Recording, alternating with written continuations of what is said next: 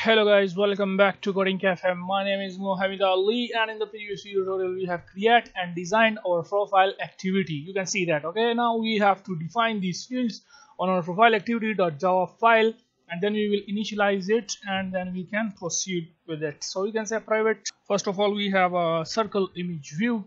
We can call this as user profile image. Then we have two text views for username and status. So we can call this as user profile name user profile status. Then we have a button which is the send message button. So we can call it as send message request button. As you know that uh, it will be similar just like in whatsapp. That is if any unknown person can send you a message then you have the option to accept their request and add that person in your contact and also you can cancel that request I mean the message request just like you guys see in WhatsApp.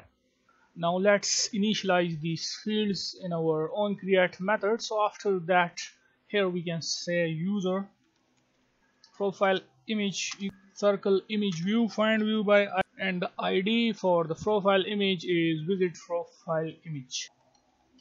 Visit profile image. Then we have a user profile name. So we can say user profile name equals to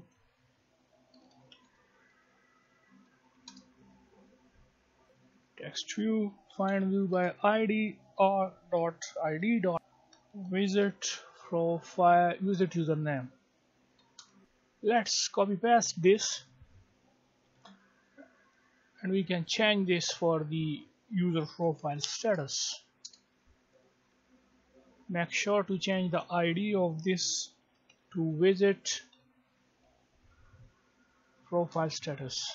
Then we have a button so we can pass that and first of all change this to button. And the name of the button is send message request button and the ID for this is send message request button. So yeah that's it. And now we can retrieve the information and display it here on the profile activity so for that what we gonna do I will create a method by the name retrieve user information or you can simply call it as user retrieve user info. So let's create that. So this is the method. So we need a reference to our database. So what we're gonna do here we can simply say private database reference and we can call this as user ref. And here so we will create a reference to our users node and then inside we have different users by their unique user IDs okay? So that unique user ID we are already getting here okay from the previous activity which is our find friend activity and we are storing that ID here. So first of all let's create a reference or you can say a link to our users node. So what I'm what I am going to do is that here I can say user ref firebase database dot get instance dot get reference dot child and the child is our users node and remove this uh, toast okay which in we uh, which we add in the previous tutorial. We don't need that now. So now by using this user ref we are going to retrieve the data of the users on which I mean any profile on which a user will click. Dot child and the child will be the receiver user ID dot add value event listener new value event listener. Make sure to put a semicolon here. And now here inside this on data change we can say if data snapshot exists. As you know that uh, in our this app uh, the profile picture is optional. That is it is totally up to the user that is if you if he, a user want to set his profile image or not. So we have to add a validation for that okay? So what I'm going to do after this you can say and then put two braces again and we can say data snapshot dot has child image. So then we will retrieve the image by using the data snapshot dot child and the image key name is image name and status okay? So we can say image dot get value dot to string. And we can copy paste this for the status and name. So we can say name and the key value in the database for the name is name and for the status we can say status and the key name in the database is status s-t-a-t-u-s let me confirm this again. You can see this okay?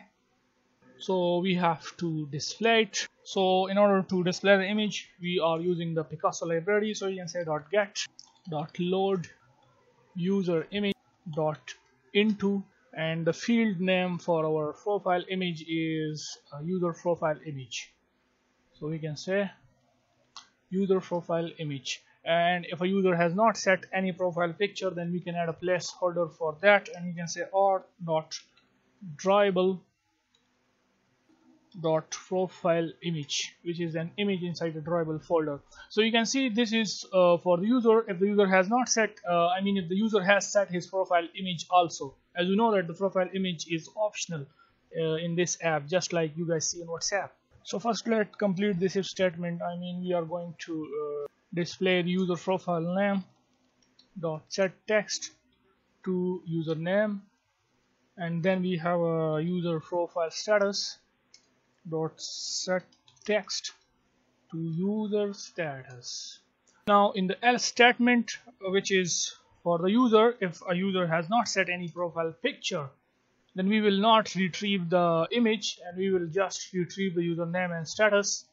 So copy this paste that here and we can copy this to and yes that's all. As you know that the profile picture is uh, optional I mean some user will set their profile picture while some will not. You can see that this user has not set their profile picture yet so he is using the default profile picture of the app. Okay just like you guys see in whatsapp. So that's why this condition will check if the profile image is exist then we will uh, display all the information. We first retrieve and then display all the information. But if the profile picture is not set then we will just display the name and status which is mandatory in this app. Just like you guys see in whatsapp so yeah that's it. And now let's run the app. So the app is running now successfully. And now let's go to the find friends activity. And these are our all users. So now let's click on Muhammad Ali share profile. And you can see Muhammad Ali share. And this is the profile status and all the things. I mean this is amazing. This is incredible. Now let's click on Peter Parker who has no profile picture okay? So this is the default profile picture of this app so this is the username this is the profile status of this user. He says hey i am a spider-man. And then my uh, profile so you can see muhammad ali and uh, profile status. So i mean this is working fine and this is this looks amazing. I mean this is incredible. So yeah that's it for this video. And in the next video we will uh, start working on the uh, messages functionality the private chat basically just like you guys see in whatsapp as I told you twice I mean also in the start of this video that the user will first click on the send message button. So this will basically uh, you can send a message to a user but uh, there will be a request to that user. I mean that user will see that muhammad ali wants to talk to him okay? So that user will have a choice either to accept that request or to cancel that so it is totally to the receiver of that request. So once he uh, accept your uh, message request then both will be able to talk with each other and you can and then uh, he will be able to add me in their contact uh, list. So yeah that's it for this video. And if anyone is new to our channel then please please subscribe our channel coding cafe. And thumbs up for this video. Please provide me uh, some suggestions and also uh, give me a positive review so that I can upload videos uh, with more quick speed. So yeah take care of yourself and bye for now